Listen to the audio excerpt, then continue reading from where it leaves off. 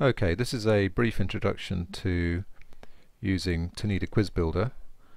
Uh, Tanida Quiz Builder is a Flash authoring tool that enables you to quickly and easily generate Flash-based quizzes uh, to incorporate on your website. The version of Tanida Quiz Builder I'm using here is actually version 1.3 which is slightly old now. The new version available from the Tanida website is version 2 so if you download it a trial version to use uh, be aware that it is slightly different but the principles are pretty much the same. If you learn to use this watch this video you'll you'll get an idea of how the new version works as well. So to begin once you launch Quiz Builder you'll have this this dialog interface giving you the option to open an existing quiz, to create a new one, or to a little history of your recent quizzes. So create a new quiz and we get the blank authoring window like this. In order to create a quiz question you simply click the green plus sign and you'll see there's a range of different question types and I'll introduce you to these now the true false.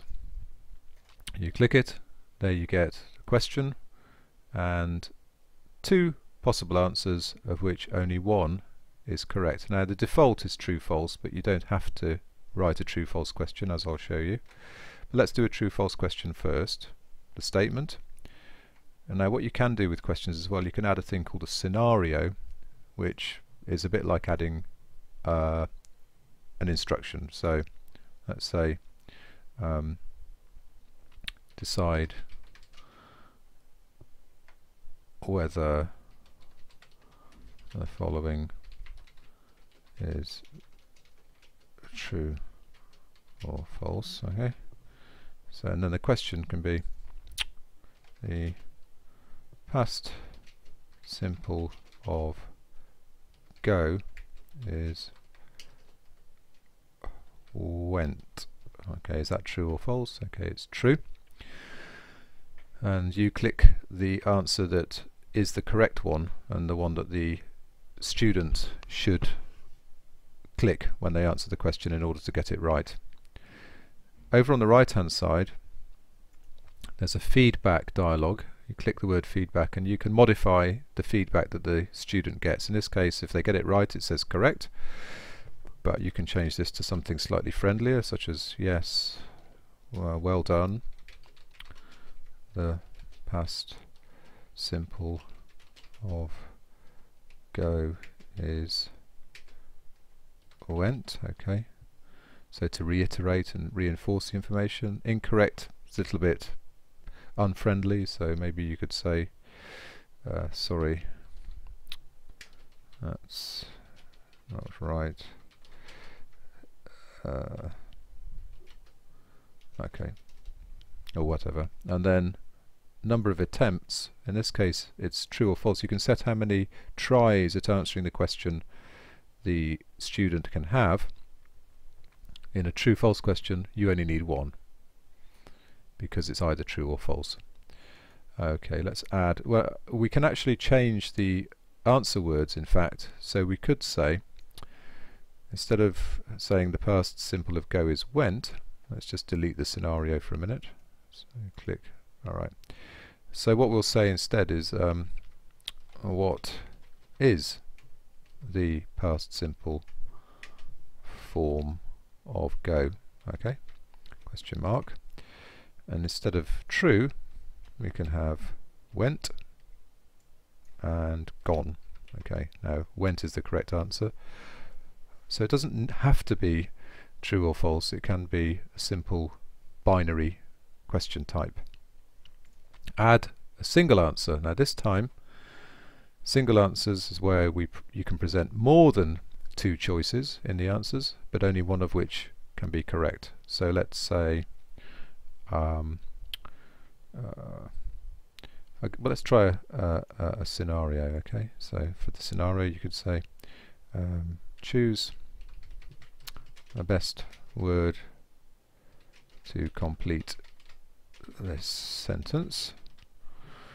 Okay, and the sentence could be a past simple. Let's keep it in the past simple. So last week end I blank blank blank blank blank blank blank blank blank.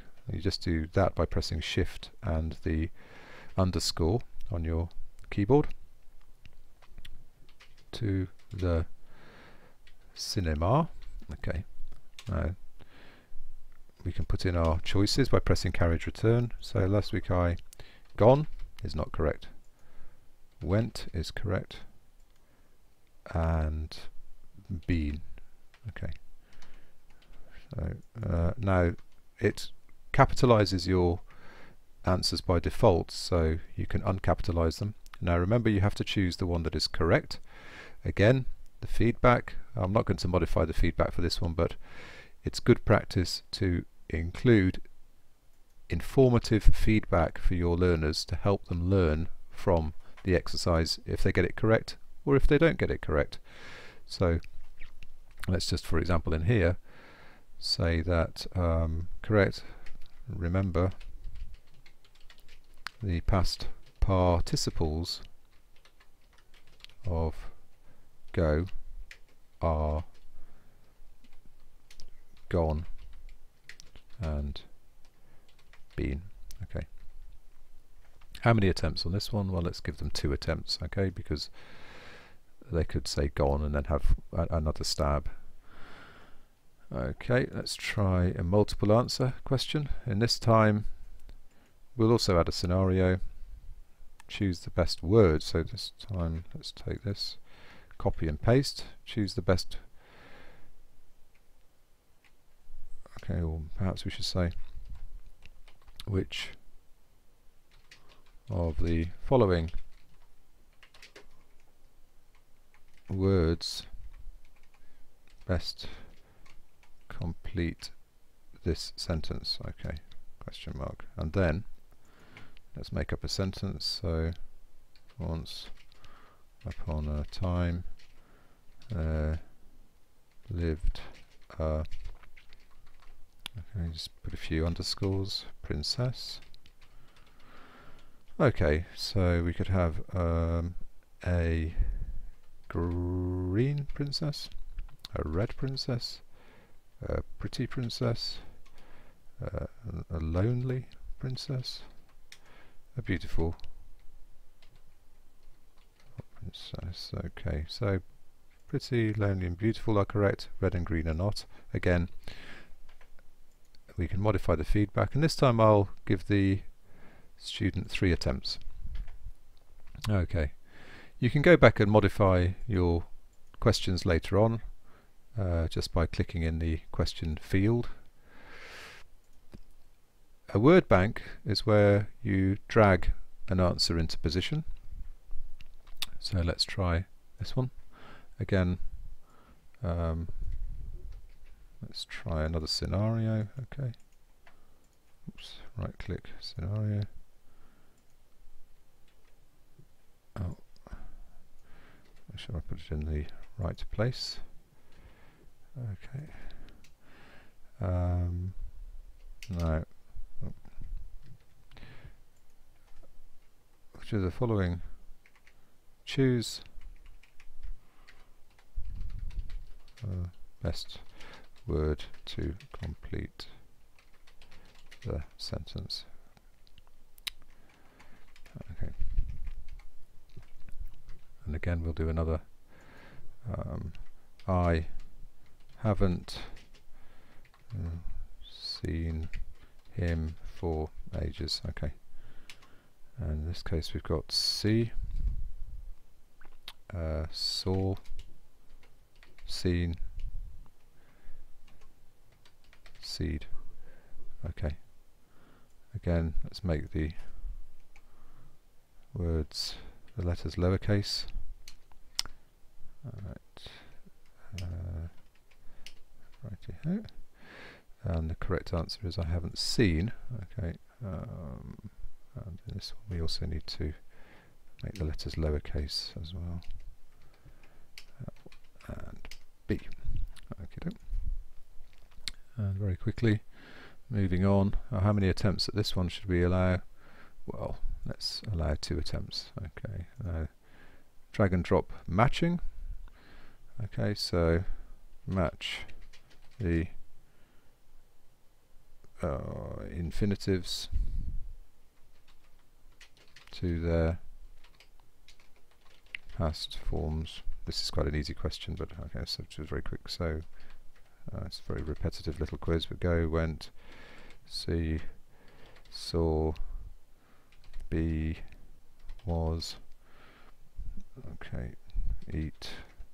This is probably not a very good question. Let's do match the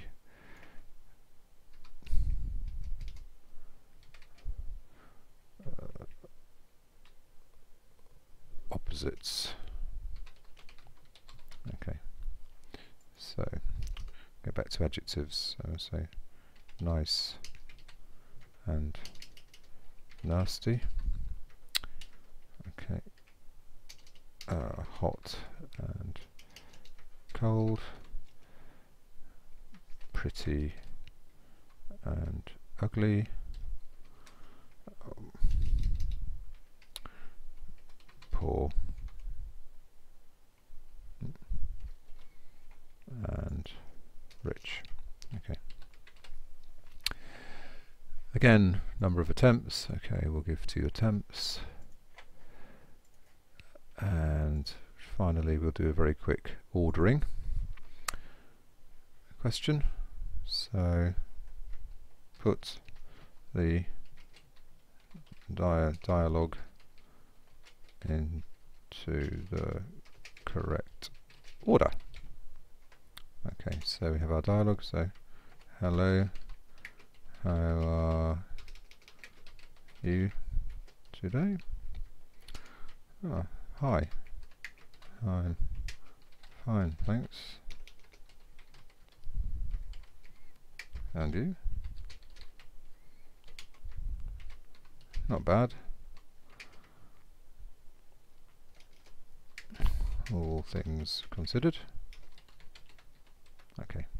And again, just have a couple of attempts on that one. Okay. So when you're ready, you you can save your your your quiz somewhere. So in this case, I'll put it on the desktop just uh, for for ease, really. Give it a title. Test quiz. Okay. All right. You can also look at the properties of your quiz. So here we have the title. You can set a time limit. We don't need to concern ourselves with the login dialog here. you can modify the introductory information. Try my grammar quiz, for example. uh, you don't have to include an introduction, but you can. Number of questions, all questions are going to be asked. We can randomize them. You don't need a 15 minute break. This allows you to include a 15 minute break, but that's probably not necessary. And submit one question at a time. The user will get feedback on each question as they submit them. Uh, reporting, we're not doing any reporting here. This would only be if the quiz is in a learning management system. Uh, and the output is going to be a flash, shockwave flash. You can produce executable, exe, and documents, but we want a flash file here. And we'll save it to desktop, okay? So I'm going to, you need to modify the location of where it's going to save, okay. And you can also customize the appearance of your quiz. So this will open up and you can see what your quiz is going to look like. And you can modify it here. So you can change the colors, the fonts, you can change the style of the quiz you can change the color of the bar. You can decide whether you want audio and information. So if I close take off audio take off information they disappear.